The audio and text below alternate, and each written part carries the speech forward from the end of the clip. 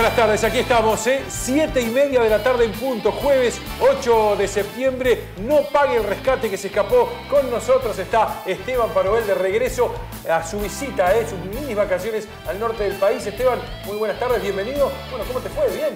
Bien, muy bien. ¿Qué tal, Martín? ¿Qué tal a toda nuestra comunidad deportiva? Hemos retornado merecidas vacaciones, merecido descanso. Ya lo extrañaba, ¿eh? estar aquí, estar compartiendo con ustedes toda la tarde y obviamente el deporte local. Dicen que las nenas y Piqui decían, le empezaron a preguntar después del segundo o tercer día, no tenés nada que hacer, no hay nada que cubrir en Jujuy, en no, no hay ningún partido, no hay un federal, algo para ir a cubrir, este, porque también eh, reclama la familia, pero después se desacostumbra, ¿no? Sí. Porque uno entra y sale por la casa, ¿no? Han sido 10 días junto a mis hijas, junto a mi mujer, realmente algo hermoso. Hemos viajado para el norte de nuestro país, Salta, Jujuy. Recomendable para todos, no lo conocíamos realmente, un destino para recomendar. Vamos a comenzar a hablar de lo que ha sucedido justamente y que hoy es el día en el que vamos a descargar toda la batería del material informativo que logramos durante el fin de semana. Le pedimos al señor director, arrancamos con las imágenes Mire, mire qué artística. Después le digo con quién salí. El básquetbol de veteranos, ¿eh? Una nueva fecha, la tercera eh, de el, eh, bueno, este segundo torneo de veteranos eh, organizado casi por la gente del Colegio del Sur. Algunos cambios de nombres, la misma cantidad de equipos. Pela y tenés ahí los resultados. Sí, así es. Esta tercera jornada de estos viejitos piolas, ¿no? De los veteranos que ya vienen acompañando, vienen sosteniendo su torneo desde hace un par de temporadas junto a los de primera. La sorpresa, sin dudas, ha sido la caída del conjunto de Colegio del Sur.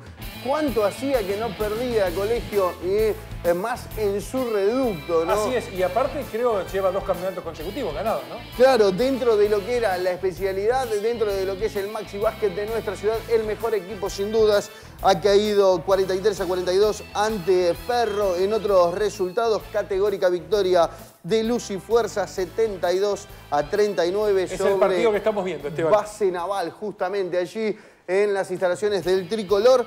Y también hay que decir que CAEF se impuso 65 a 43 sobre el Palomar. En este caso ha sido eh, libre, eh, ha tenido fecha libre el conjunto de amigos, ha tenido fecha de descanso. Eh, amigos, Esteban, que dicen ha sumado dos o tres jugadores que hace muy poquito jugaban en primera, dicen que es el equipo que va a intentar con muchas posibilidades de destronar justamente a Colegio del Sur. Si encima Colegio del Sur perdió este encuentro, bueno, se acrecientan las chances de un torneo que no va a tener playoff, que va a tener dos ruedas directamente. Claro, va a ser a sumatoria de puntos todos contra todos y de allí obviamente saldrá el campeón. Lo cierto también es que el conjunto de Club de Amigos reforzado con algunos de los integrantes del eh, ex equipo de Ushuaia Rugby Club a tener en cuenta. ¿eh? Así es, nosotros eh, hablamos con la cara visible de la organización, él es Mauricio Ayala, nos aclara estos aspectos y,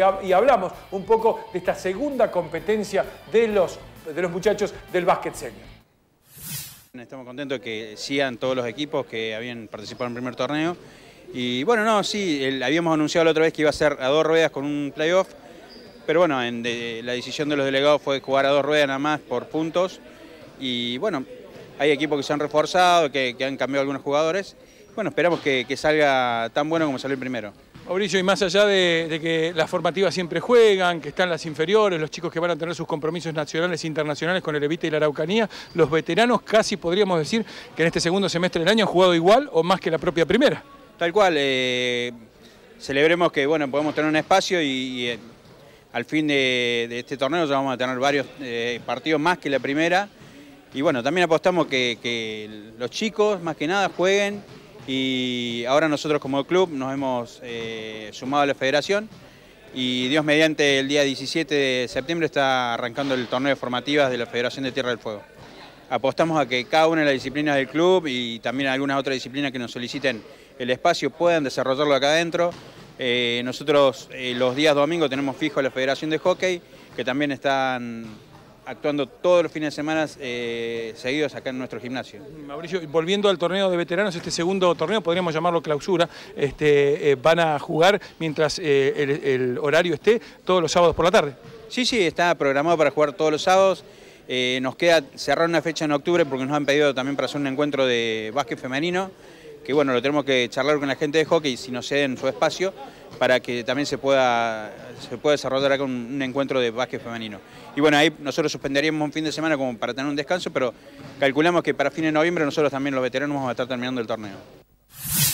La continuidad del torneo se estará desarrollando justamente este sábado en lo que respecta al Maxi Basket.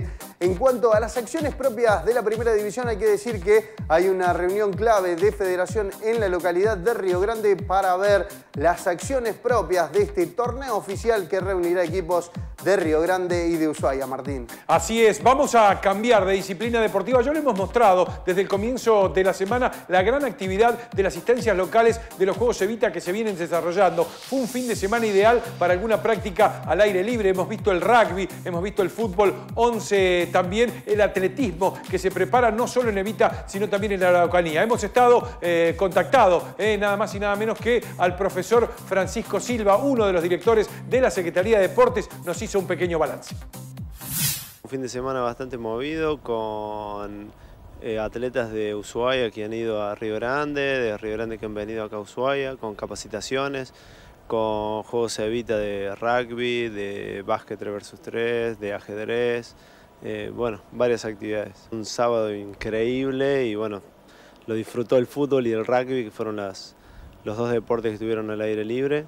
Eh, mucha concurrencia de, público y obviamente, bueno, la alegría de los chicos participando, ¿no? Del 22 al 29 de octubre hay que estar en Mar del Plata.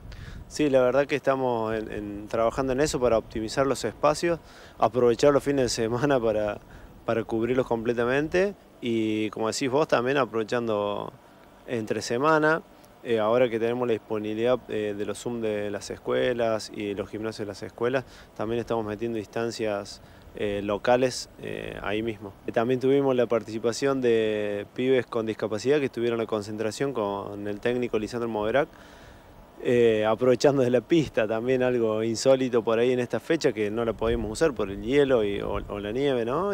o la inclemencia climática que no te deja estar al aire libre. Está el profesor Gustavo, eh, bueno, a través de Lucas Dofo, que por ahí es nuestro, nuestro referente más fuerte en el atletismo.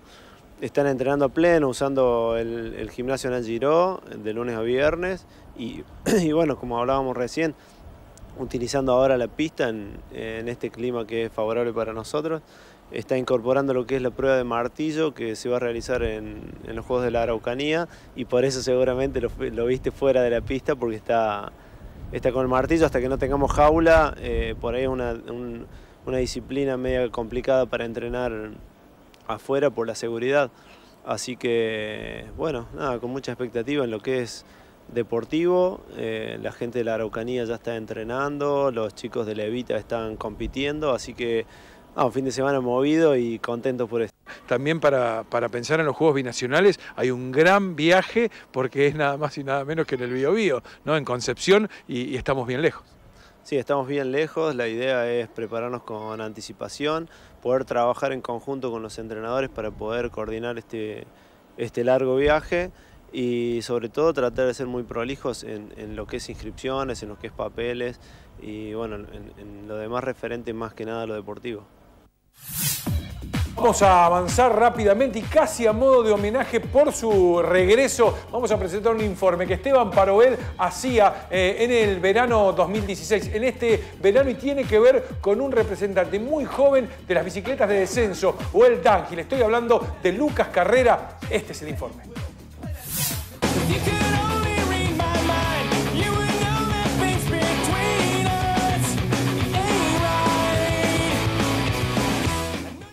Para conocer un poquitito más acerca de la realidad del descenso de montaña, nos acercamos hasta el circuito Nelson Place en el barrio Caiquén para dialogar con uno de los deportistas más representativos que tiene la especialidad, como lo es Lucas Carrera.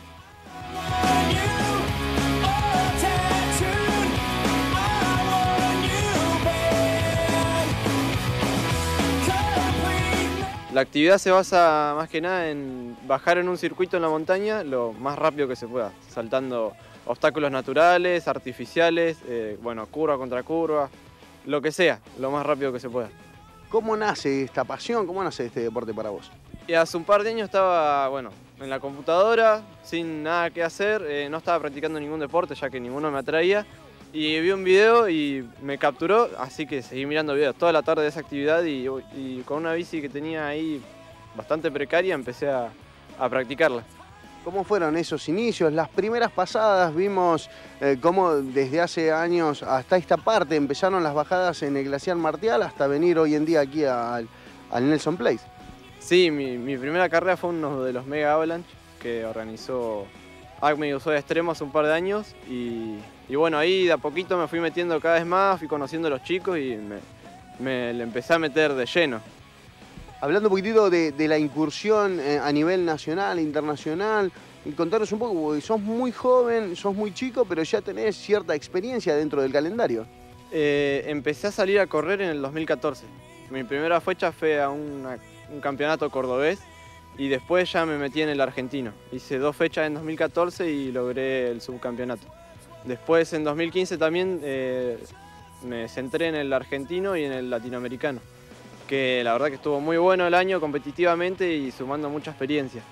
Eh, hice las tres fechas del campeonato latinoamericano y las tres fechas del argentino eh, terminando segundo en, el argentino en cadete y tercero en, el, en, cadetes también en latinoamericano.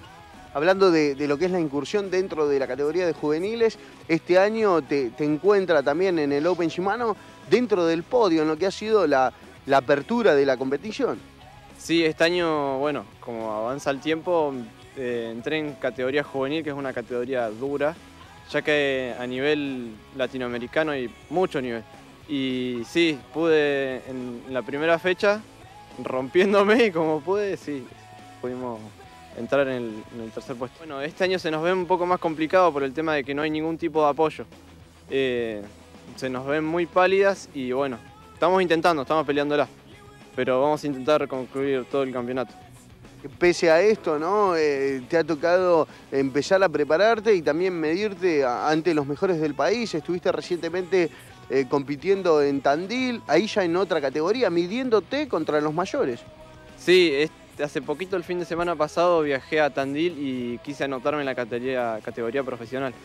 Quería exprimirme un poco más y bueno, eh, experimentar esa- esos nervios y la verdad que fue fascinante. Sentí los, me sentí mucho más presionado por mí mismo y bueno, yo creo que dio su fruto. Para que la gente sepa cuántos participantes tienen este tipo de competiciones.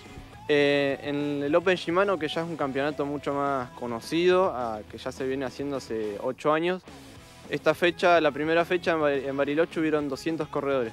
De, no, tanto Argen- solo, no solo de Argentina, sino de Uruguay, Chile, de Brasi- no sé si brasileros y contamos, cantaron también dos europeos.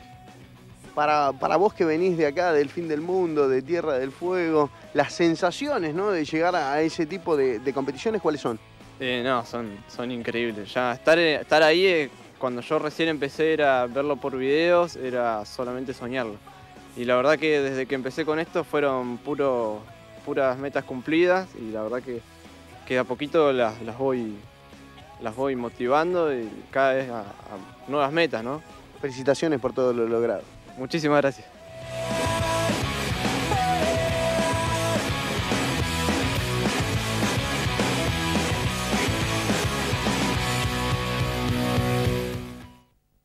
Lucas Carrera, ¿con quién hablabas en el comienzo de, de la temporada? Y eh, en la medida de sus posibilidades sigue participando y por supuesto entrenando. ¿no? Sí, así es, estuvo participando de este Latam Shimano en la primera fecha en Bariloche, también estuvo en la segunda fecha en Brasil, ahora espera completar todo el calendario en la última jornada que va a ser justamente la competitiva en Chile.